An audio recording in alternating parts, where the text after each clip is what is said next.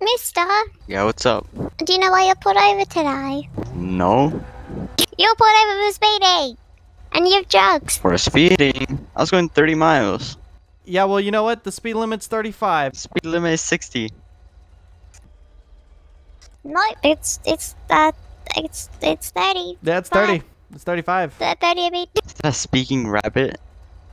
Am I going crazy or...